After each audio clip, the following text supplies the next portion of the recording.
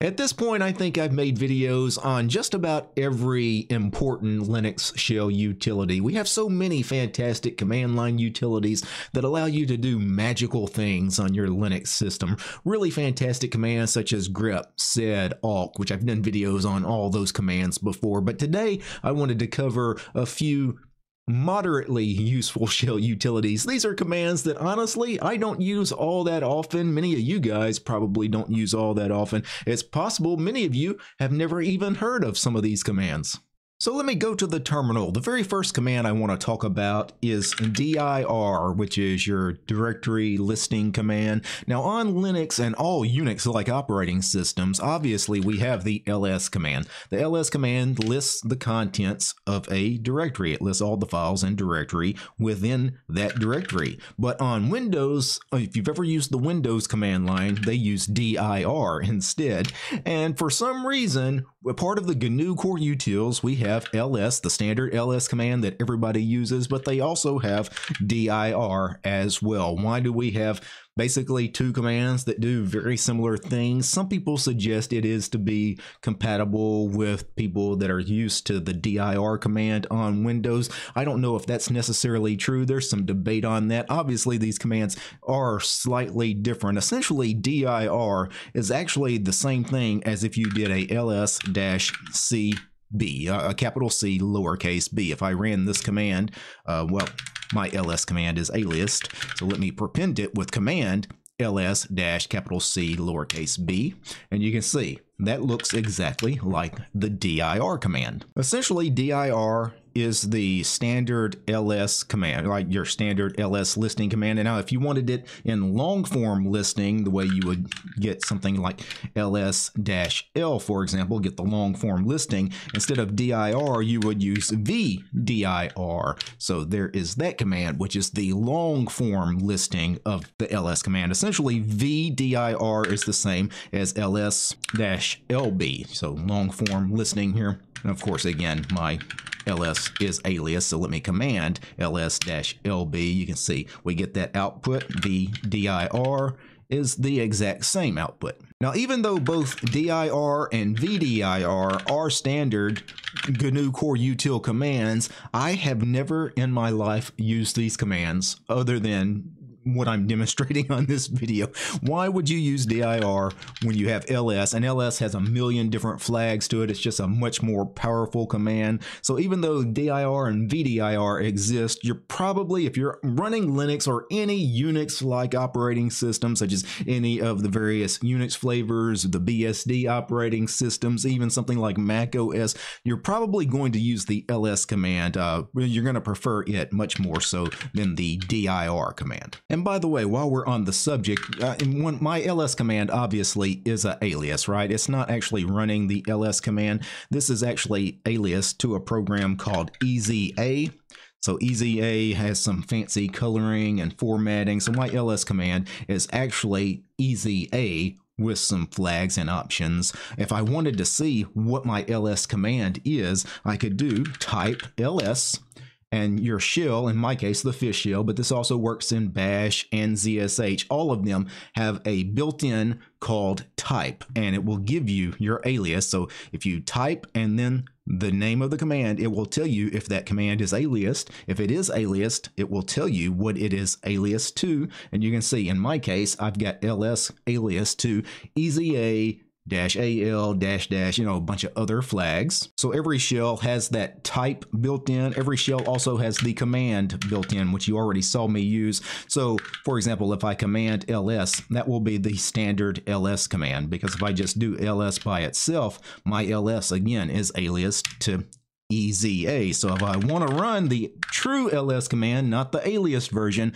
I either have to do command ls or I could just type the full path to the binary such as user bin ls. And unlike dir and the vdir commands, which I've never used, I actually do use the command uh, built in in the shell all the time. The type command I don't use that often, but type is, it does have some interesting functionality. For example, if I wanted to type echo, I can see echo is a built-in shell command, right? But if I wanted to type Firefox, for example, it's going to say Firefox is a binary. It's going to give me the location to the binary. If you want to specifically get the location to the binary for something, for example, like this ls command, if I didn't know where that binary existed on the system, type dash a name of program will give you, well, in my case, it returns both the alias, but it also gives you ls is at user bin ls. It gives you the location to the binary. If you want to get the specific type of a program, you could type and then dash T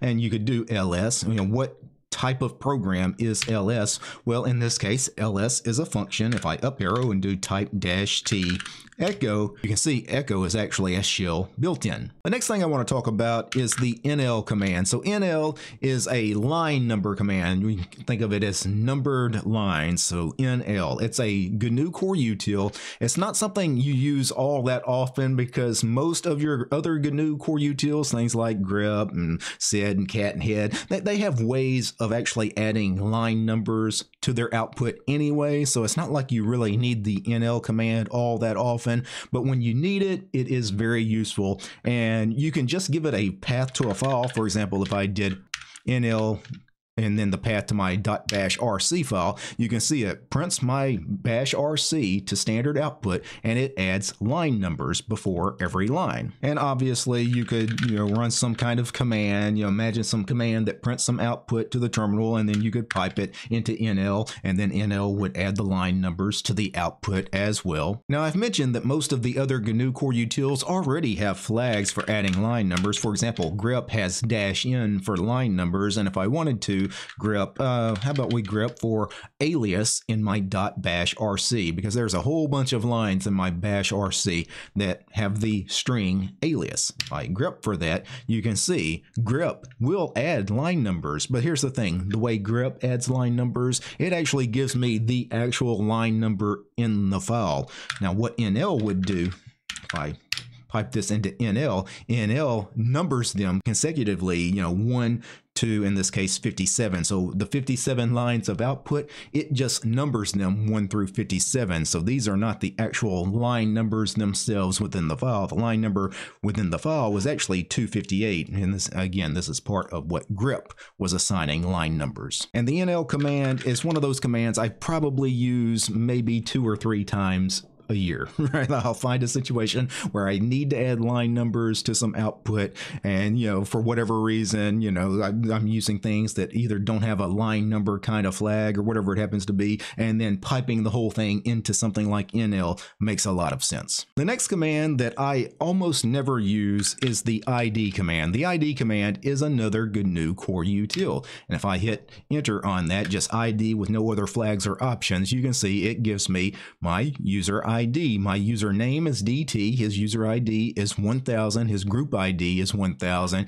Eh, all the groups he belongs to. So D- the DT user on this system belongs to sys, network scanner, power, Ollama, libvirt, yada, yada, yada. Of course, somewhere he's in the wheel group. So I have sudo privileges. And then it gives me the ID numbers for each of the groups. The wheel group, for example, here is 998. That's the group ID for wheel. So to be fair, you know, what this command does is really interesting. The reason I never use it is because there's so many other shell commands to get the same information.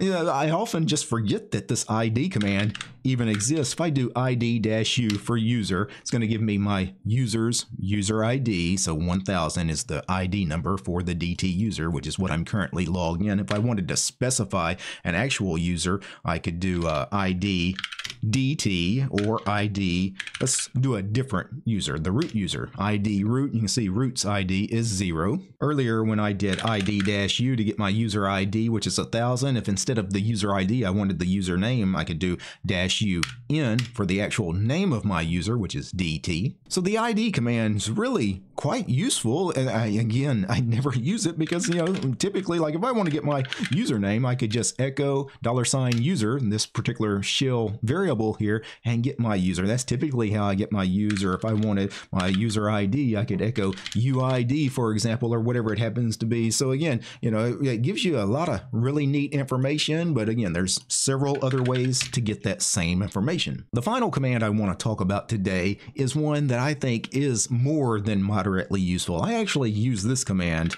not all the time, but it is a very useful command. You know, this is the calendar command, cal. Oftentimes I'm working in a terminal, whether I'm in a terminal emulator or if I'm in a TTY, whatever it happens to be, and I need to quickly look up something in a calendar. I want to find a date in a calendar, and the quickest way to do this is simply type cal. Now, what cal does without any other flags or options, it gives you this month's calendar and you can see it highlights today's date. If you want to look at a three month calendar, do cal dash three and what it does, it gives you this month's calendar as well, but it also gives you the previous month's calendar and next month's calendar. Some other flags that are useful, I often do cal y for year and what this does, it gives you the entire year. Let me zoom out so you can actually see the entire year's calendar. So this is the calendar for 2024. Now, if for some reason you didn't want to view view the calendar for this year, 2024, you wanted a different year, you could do something like calendar 2023 and get the, the 2023 calendar or next year's calendar 2025. And finally, if you want a 12 month calendar but not January to December, you want a 12 month calendar from this month going forward, 12 months, you could do cal dash dash 12. And you can see we're in July 2024, and then I get the next 12 months after that as part of a year calendar. So there you have it, seven moderately useful shell commands. We talked about dir, vdir, uh, shell built-ins like command and type, as well as nlid and the calendar command. Now before I go, I need to thank a few special people. I need to thank the producers of this episode. And of course, I'm talking about Matt James, Steve, Armor Dragon, Darloff, Daedalus, GDR, George, Lee, Matthew, Methos, Ur, Jan, Paul, Peace, Arch, and Fedora, Realities for Less, Red Prophet, Roland, Soul Astray, Tianren, War Gentoo, and Ubuntu, and Willie. These guys, they're my highest tiered patrons over on Patreon. Without these guys, this quick look at these shell utilities, it wouldn't have been possible. The show is also brought to you by each and every one of these fine ladies and gentlemen. All these names you're seeing on the screen right now, these are all my supporters over on Patreon because I don't have any corporate sponsors. I'm sponsored by you guys. If you like my work and want to see more videos on fantastic shell utilities, for example, subscribe to DistroTube over on Patreon. Peace, guys.